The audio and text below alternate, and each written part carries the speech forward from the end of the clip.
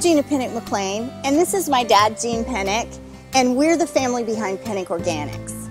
Our Digger's Delight line was developed for southern gardeners using local raw materials. We're introducing the Digger's Professional Planting Mix. It is a basic all-purpose mix for those applications when you need a little more weight and it's great for amending beds or you can use it in containers.